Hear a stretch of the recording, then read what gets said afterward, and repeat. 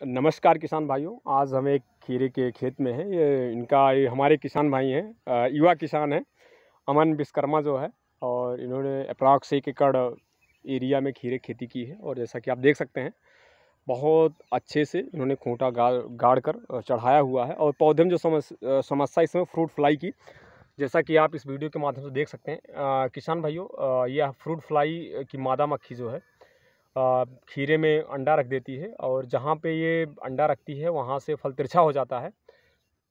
और जो इसके लार्वा होते हैं, फल को अंदर से अंदर खा के ख़राब कर देते हैं और हमारे किसान भाइयों को बहुत नुकसान का सामना करना पड़ता है। इसके नियंत्रण के लिए किसान भाई, यदि आपके खेत में ऐसी समस्या है तो ऐसी स्थिति में आप इमडा क्लोपिड सत्तर दशमलव आठ प्रतिशत सेल में दवा आती है, इसका छिड़काव कर सकते हैं। यदि इसकी मात्रा की बात करते हैं तो साठ से सत्तर एम दवा को आप प्रति एकड़ दो सौ लीटर पानी में घोल बना के छिड़काव कर सकते हैं। यह दवा बाज़ार में अनेक व्यापारिक नामों से उपलब्ध है, जैसे टाटा मीडा अथवा जैसे कि अगर आप धानुका के लेते हैं तो मीडिया नाम से मिल जाएगी। अथवा किसान भाई दूसरी दवा का भी छिड़काव कर सकते हैं, जैसे आपको सिनेंटा की कराटे मिल जाएगी, उसका भी छिड़काव कर सकते हैं। यदि इसकी मात्रा की बात करते हैं तो एक सौ पच्चीस दवा को प्रति एकड़ के अनुसार छिड़काव कर सकते हैं। खेती से संबंधित अधिक जानकारी के लिए आप हमारे चैनल को लाइक करें, शेयर करें, कमेंट करें। वीडियो देखने के लिए आपका बहुत बहुत धन्यवाद। नमस्कार किसान भाइयों।